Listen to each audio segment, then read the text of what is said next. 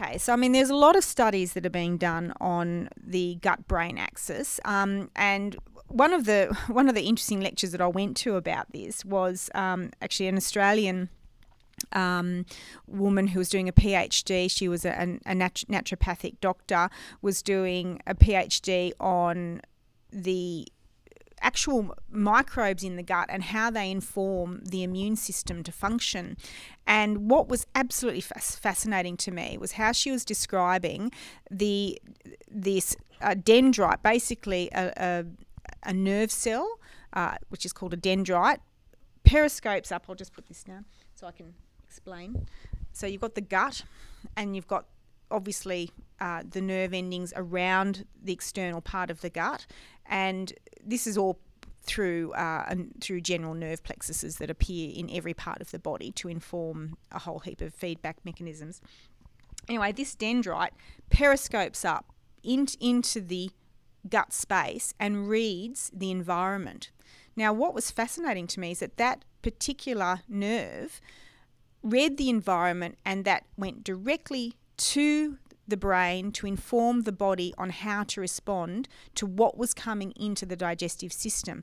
This this was just mind blowing to me, and you can imagine that if there's something coming into the body that is considered um, a negative for the body, this dendrite immediately set up a, an inflammatory response. So if there was food that was not appropriate or allergy based you know food, this set up this cascade of inflammation in the body.